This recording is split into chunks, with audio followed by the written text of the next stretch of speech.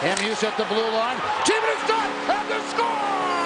7.3 seconds remaining in the period.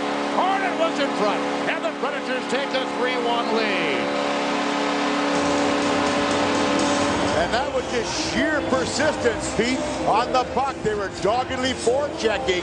The Predators were, and they were not to be denied with Hamhuis coming the full mile to pick up on that one to keep it in. And then the big fella, Arnott, he goes to the front of the net. And Captain Kimmo Timonen lets the puck go. You know what? That just knuckleballed the whole way in. It was sort of a knuckleball from Captain Kimmo Timonen off the point.